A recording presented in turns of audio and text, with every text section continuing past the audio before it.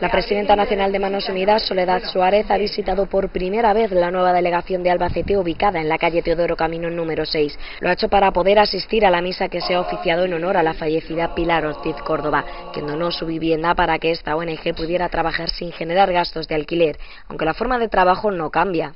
Eh, nosotros estemos donde estemos, en las condiciones que estemos, los voluntarios de Manos Unidas siempre eh, vamos a trabajar por lo mismo, sensibilizar aquí a esta sociedad y financiar proyectos de desarrollo en el sur para que la gente pueda vivir con dignidad. La misa ha sido oficiada por el obispo de la diócesis albaceteña Ciriaco Benavente, un acto que no ha querido perderse la presidenta de Manos Unidas, quien ha asumido un nuevo compromiso dentro de la ONG desde que fue nombrada en el cargo el pasado mes de octubre. El compromiso de seguir trabajando mm, por Manos Unidas eh, con el mismo espíritu de austeridad, de transparencia, de alegría, de compartir ha asegurado que las delegaciones son muy importantes para Manos Unidas porque a través de ellas llegan los fondos para poder trabajar por los demás.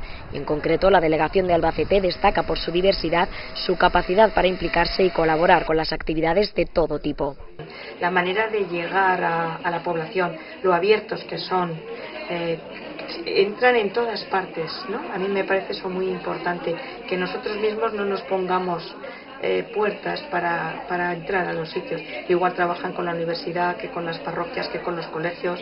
Son, yo creo que son líderes en España con los cuentacuentos eh, que han arrasado. Y es que las delegaciones de Manos Unidas trabajan en equipo y ponen todos sus proyectos en común. La delegación de Albacete fue pionera en trabajar con los cuentacuentos, algo que ya han copiado el resto de delegaciones.